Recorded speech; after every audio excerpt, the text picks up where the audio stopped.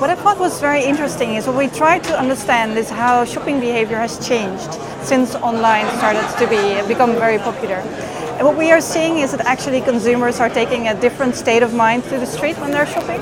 So these days they're not so much concerned with completing their shopping list because because of online they are able to uh, do their shopping at home or they still have possibilities that if, their shopping journey is not uh, successful they can always do it afterwards. And this means that they're coming to this high street much more relaxed uh, and they're much more focused on social interaction, about being inspired, about engaging with brands and learning about their products. So it's definitely still about buying, but not necessarily about the shopping list because they might have already completed it.